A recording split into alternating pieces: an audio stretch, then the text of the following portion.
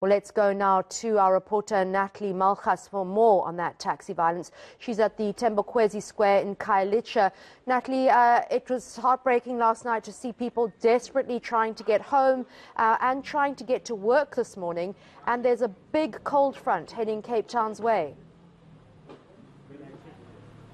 In fact, it's already hit, Annika. We're standing out here in a rainy Khayelitsha, and those chaotic scenes that we heard of and saw for ourselves last night definitely were repeated this morning as thousands struggle to get to work. As you mentioned, there's a partial service on the bus route after Golden Arrow reported more threats and intimidation on its bus drivers. Many are too fearful to actually get behind the wheel this morning. Of course, this continued uh, feud between uh, rival taxi buses uh, has left commuters feeling like sitting ducks. We actually took a taxi yesterday between Mitchell's Plain and Hanover Park, uh, and about 12 hours after uh, that expedition, we heard of continued shootings really close to where we had just been.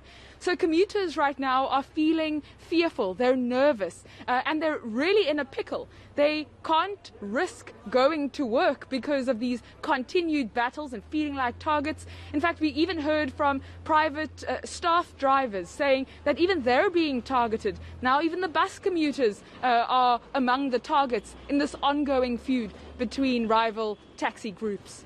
That's right, Natalie. We're hearing that if you try and send an Uber uh, or try and get an Uber from uh, any of the ranks or a private uh, car, uh, those are being warned to stay away. So uh, commuters really are battling. And Many of them are desperate to earn that daily wage. Uh, restaurants haven't been opened until this week, so really hard times. What's been done to try and mediate some kind of peace?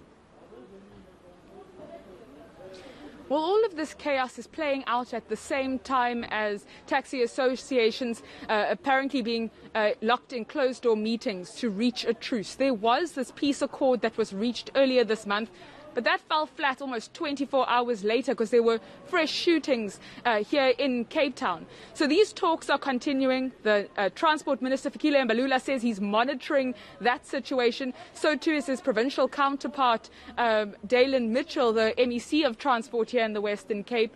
At the same time, law enforcement has been bolstered. We visited some of those tense taxi ranks in Nyanga, in Mitchell's Plain, in Langa yesterday, and we saw across uh, the city there were several police officers. We know the SANDF has also been deployed. They've been in Cape Town, in the Western Cape rather, since Friday. At the moment, we know that there are at least 170 officers, and that will be boosted to around 400 officers by the end of this week. The situation is tense and it's chaotic, and people are fearful here, Annika.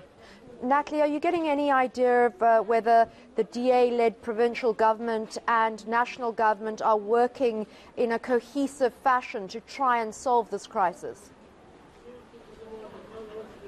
That is the line that we are hearing. In fact, last week, Friday, Fikile Mbalula and Daylin Mitchell uh, briefed the media outside uh, the Brackenfell uh, Traffic Centre to say that is exactly, they're on the same page. They all have one agenda and they want to clear this up and they want to uh, bring peace as soon as possible. And they're prepared uh, to take quite a, a, strong stance should they need to, because one life lost is one too many. So it does appear as if the authorities are on one page, but the commuters, frankly, are saying there's too much talking happening and very little action. They want to see more police, they want to see more intervention, and they want all of this chaos to come to an end quite quickly. We also know that the Western Cape administration will be hosting a Digicon later today. On the panel includes Community Safety MEC Albert Fritz and the uh, police chief here in the province. Uh, they will all brief on the various interventions uh, being rolled out as a result of this chaos. Natalie, we hope you'll keep us updated. In fact, you always do. Uh, and that some sort of peace can be brokered as soon as possible. Thank you for joining us.